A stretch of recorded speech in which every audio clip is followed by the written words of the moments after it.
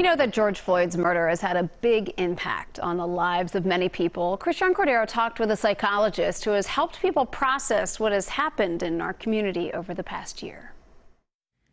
As the sun rises on one year since George Floyd's murder, one year since the Twin Cities changed forever, there is promise of a new dawn, but its warmth has not yet set in. How are you doing a year later? How do you feel like we are doing collectively as a community? I think we are we're in a space where we can't be sure what is happening. It's Dr. Bravada Garrett Akinsanya, Dr. B's job to help people understand their mental health. She's noticed a heightened sense of anxiety, people saying they feel shaky, inattentive, losing their sleep or their appetite, despite the verdict in some ways because of it. People are just waiting for the other shoe to drop. So if I'm feeling it and I understand what's going on, I just wonder how other community members are feeling how their children are feeling. Especially communities of color. We don't have faith that the, this one incident is, of justice is creating a trend or a pattern that will undo or begin the unraveling of what we've experienced for, for centuries. We live in a world right now, Dr. B, where we want quick answers. We're willing, people say that they're willing to do the work, but they want a clear answer. Yeah, and that's not going to be possible it's going to take generations and uh, generations upon generations before we can all feel safe together. As familiar chants echoed in the streets last summer,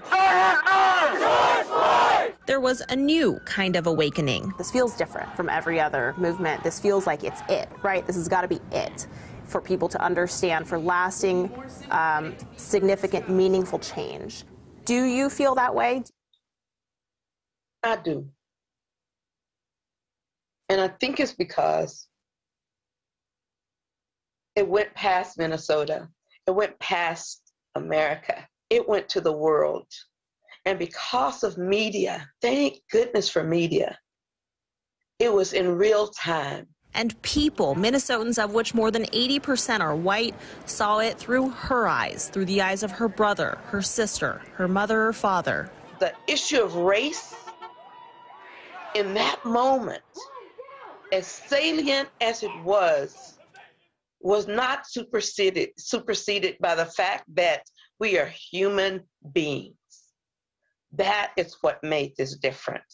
Rising from the trauma of the past year is the emergence that black women in particular are owed credit for the leadership they have carried through generations. One of the things that happens with black women is we are very strategic in our actions.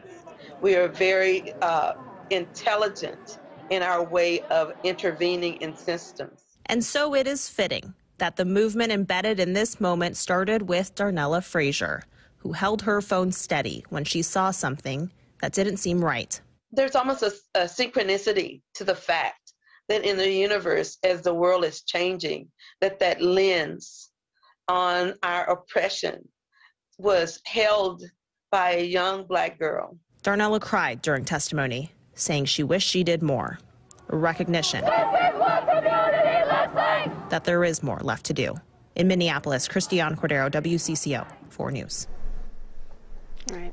You know, we heard that over and over again on the stand from different people who witnessed mm -hmm. this, and it is heartbreaking to think that people who did nothing other than witness, or in Darnella's case, I mean, she some are saying she should get a Pulitzer Prize mm -hmm. because her video is what unlocked the truth of what happened in that moment. Mm -hmm. But every single person said, "I wish we had done more." I wish think, we wow. had done more. Right, and yeah. I, you know, it's interesting as she says, you know, this is going to take time. You look at it; took us generations to get where we are.